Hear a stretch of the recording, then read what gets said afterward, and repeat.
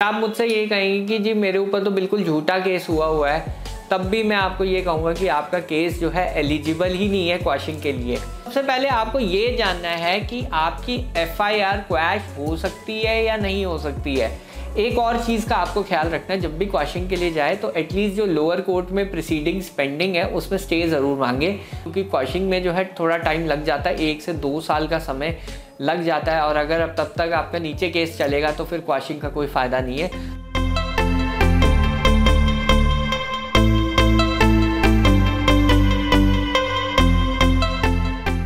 So hello friends मैं हूँ advocate Nitish Banka आप है मेरे YouTube channel leg speak legal में। आज मैं आपके सामने एक बहुत ही बेहतरीन वीडियो प्रस्तुत करने जा रहा हूँ। आज मैं आपको ये बताने जा रहा हूँ कि 498 ए की जो क्वेश्चन है, उसका पूरा प्रोसेस क्या है?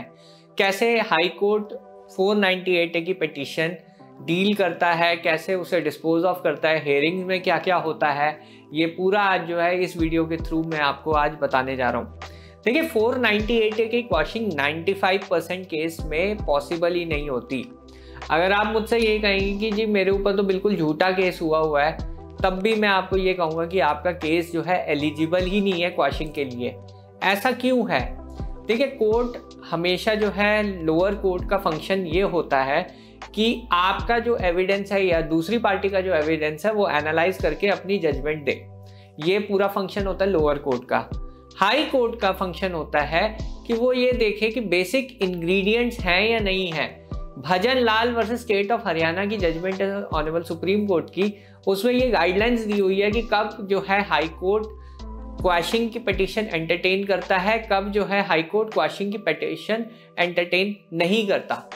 अब कई बार क्या होता है कई सेलिब्रिटी के केस फॉल्स केस हो जाते हैं क्योंकि उनकी पॉपुलैरिटी इतनी है। उन वैसी चीज़ों में जो है ऑनेबल हाई कोर्ट इंटरफेयर करता है और आपने ये देखा होगा कई केसेस में क्वाशिंग हो जाती है। पर आ, आपके मेट्रीमोनियल केसेस में कैसे क्वाशिंग होगी ये मैं आपको बताता हूँ। इसमें सबसे इंपॉर्टेंट चीज़ है इसमें रिलेटिव्स जो हैं अगर आपके रिलेटिव्स हैं उनकी क्वाशिंग पॉसिबल है। अगर उनका रोल जो है बिल्कुल भी स्पेसिफिक नहीं है एफआईआर में 498 ए की एफआईआर में। या फिर आपकी भी क्वाशिंग पॉसिबल हो सकती है, अगर उसमें डाउरी एलिगेशन नहीं है, कोई और एलिगेशन है। अब मेरे पास एक, मेरे एक क्लाइंट का केस आया था, और उस केस में ये हुआ था, जो एलिगेशंस थे उसमें, वो डाउरी हैरेसमेंट के नहीं थे, जबकि बस इंटरफेरेंस के थे कि इन्होंने जो है मेरी मेट्रीमोनियल लाइफ में इंटरफेयर किया, बस। यही एक एलिगेशन से डाउरी डिमांड के एलिगेशन नहीं थे, ना ही हेरेसमेंट थी कोई भी। तो ऐसे मामले में हाई कोर्ट इंटरफेयर करके क्वैश कर सकता है, या फिर एक्स्ट्रा मैरिटल अफेयर में तो ऑनेबल सुप्रीम कोर्ट की जजमेंट है कि अगर एफआईआर में एक्स्ट्रा मैरिटल अफेयर के एलिगेशन है, तब भी वो एफआईआर जो है क्वैश हो सकती है। तो सबसे पहले आपको ये जानना है कि आपकी एफ़ आई आर क्वैश हो सकती है या नहीं हो सकती है।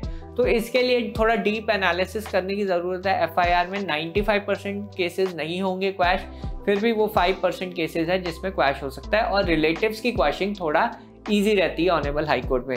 तो पहले आपको केस को एनालाइज करना है और पहले ये देखना है कि आपका केस बनता भी है क्वाशिंग के लिए या नहीं बनता है। अब बात करते हैं दूसरी चीज़ों की। दूसरी चीज़ ये हो गई कि अब बात करते हैं प्रोसेस की। प्रोसेस क्या होता है? सबसे पहले आप एक पिटिशन डालेंगे ऑनेबल हाई कोर्ट में। ऑनेबल हाई कोर्ट उस पिटिशन पे स्टेट और कंप्लेनेंट को नोटिस इशू करेगा कि वो अपना जवाब इस पे दे। स्टेट अपनी स्टेटस रिपोर्ट फ़ाइल करेगी और वो बताएगी कि क्यों 498 ए का केस बनता है और 406 का केस बनता है। और ऐसे ही जो है कंप्लेनेंट अपना रिस्पॉन्स फ़ाइल करेगा। करेगी और उसमें जो है इंपॉर्टेंट चीज़ ये है कि वो भी ये अपोज करेगी कि क्वेश्चन का केस नहीं बनता है।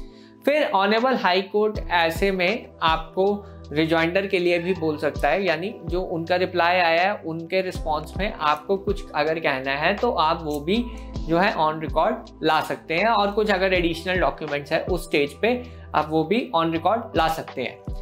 जब प्लीडिंग्स ऐसी कंप्लीट हो जाएँगी, उसके बाद केस फाइनल आर्ग्यूमेंट्स के लिए ऑनेबल हाई कोर्ट में लग जाएगा। बहुत ही सिंपल प्रोसीडिंग्स होती हैं।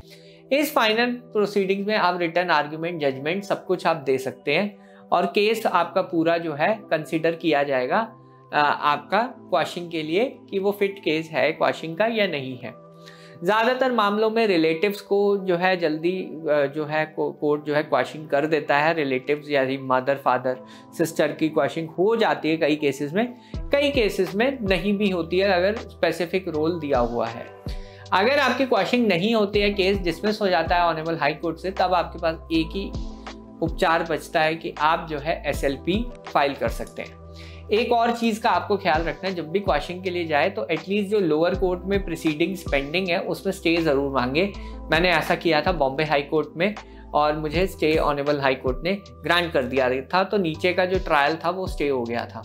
तो हमेशा जो है, आप स्टे ज़रूर मांगे, क्योंकि क्वेश्चन में जो है, थोड़ा टाइम लग जाता है, एक से दो साल का समय लग जाता है, और अगर अब तब तक आपका नीचे केस चलेगा तो फिर क्वाशिंग का कोई फ़ायदा नहीं है। तो स्टे के लिए आप ज़रूर प्रेस कीजिए। इसके बाद मैं आपको, मैंने एक सीरीज़ बनाई हुई है। आपके ईमेल आईडी पे रोज़ ऐसे मेल्स मेरी तरफ़ से आते रहेंगे।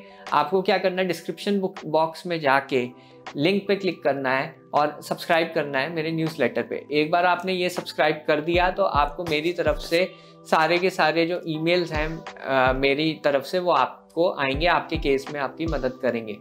बहरहाल वीडियो देखने के लिए बहुत बहुत धन्यवाद। अगर आपको ये वीडियो पसंद आया तो प्लीज़ मेरे चैनल को सब्सक्राइब कीजिए, वीडियो को लाइक कीजिए। धन्यवाद। Thank you very much